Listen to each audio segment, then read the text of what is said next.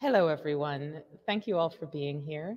My name is Lucy Letterhandler. I'm the curator of the Art Gallery of Southwestern Manitoba, and it's my pleasure to welcome you to the third tour of our Art Connects video series, this time about humor and playfulness in a prairie vernacular. These tours are made by Javin Harding and Chris Cooper, so please enjoy.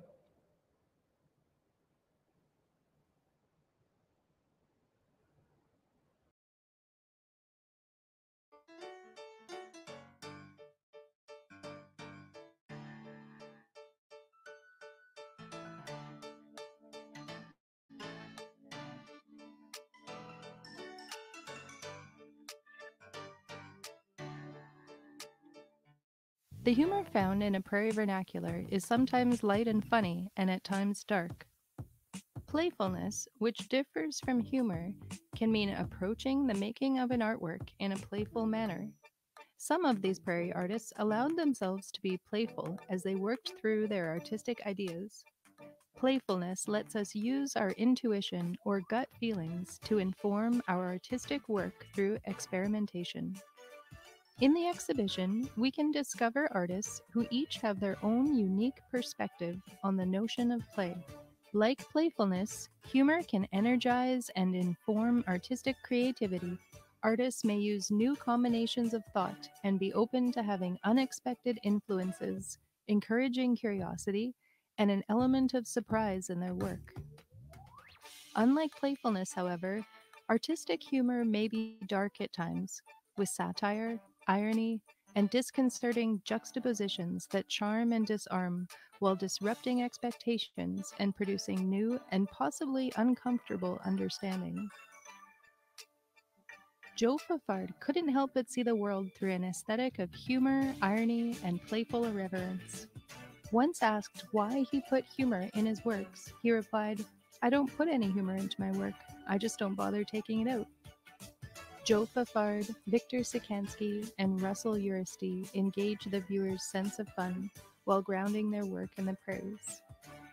Their funk ceramics of the 1970s and 1980s continues through to their contemporary work in a variety of media.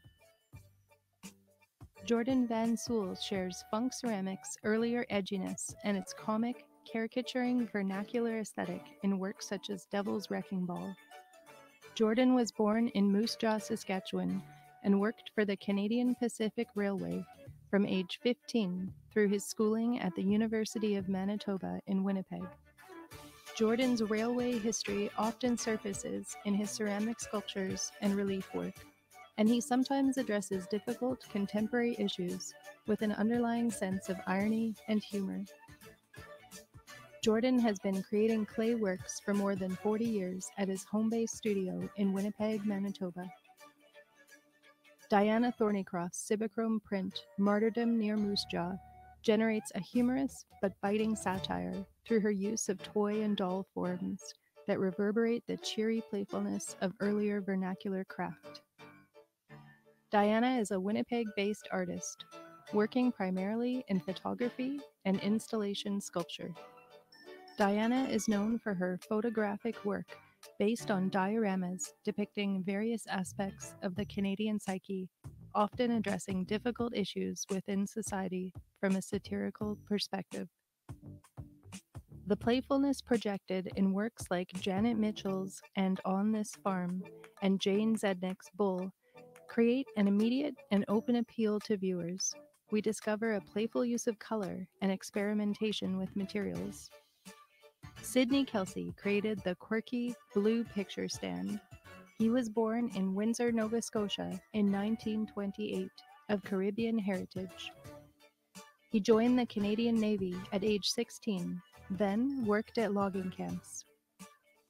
After a serious logging accident, Sidney worked as a house painter until he retired due to his injuries and began cutting out and painting wood shapes that he hung in the yard of his Edmonton home passerby would occasionally ask to buy individual pieces.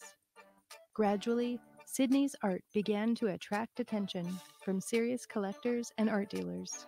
Completely self taught, his art is the product of his own imagination, although critics have pointed out connections to African American yard art creators.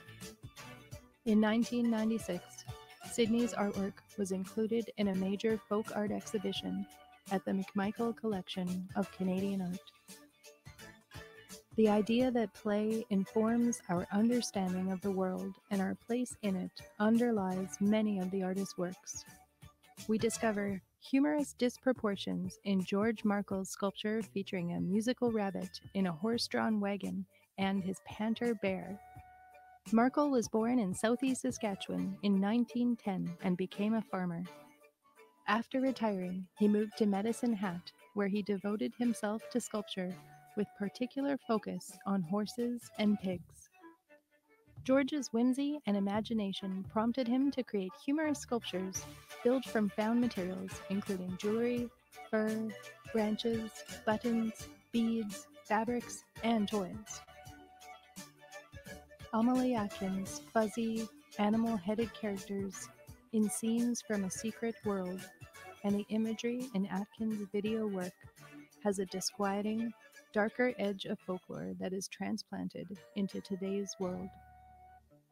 In Ground Drinker or Grandmother, Jude Griebel uses playful and self deprecating humor as a deliberate strategy to confront contemporary anxieties surrounding shifting environments and offer a way to address more difficult and serious meanings for viewers. His humor and playfulness subtly complicate, emotionally charge, and reveal the inherent pathos of the losses of time, pollution, climate change, and humanity's voracious appetite for consumption. Learn more about the other themes in the exhibition and the rest of the AGSM Art Connects video series, which brings you up close and personal to works of art as you meet artists from the prairies.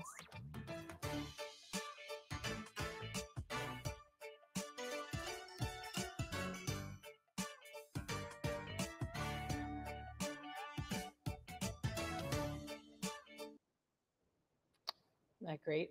What I really like about uh, the the humor is that some artists are using toys in their work in order to make a really serious point, um, but then others, um, like uh, like Sidney Kelsie behind me with the picture stand, um, the works themselves are kind of toys, and it's it's doing a, a really different thing. So um, with that, I want to remind you all that Diana Thorneycroft, whose print Martyrdom near Moose Jaw you saw in this video, is going to be joining us for an artist talk this Thursday, February 4th at 2 p.m. right here. Um, and please remember to join us again for the next video in the Art Connects series. Our next installation is about, the Prairie Gothic. That's next Tuesday, again, right here at 6.30 p.m. So we hope to see you at both of those events um, and have a great evening. We'll see you later. Bye.